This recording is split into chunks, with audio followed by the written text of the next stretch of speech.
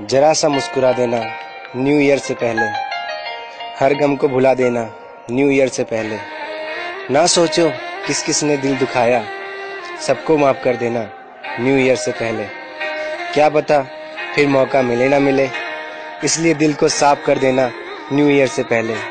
कहीं ये मैसेज हमसे पहले कोई आपको ना भेज दे, इसलिए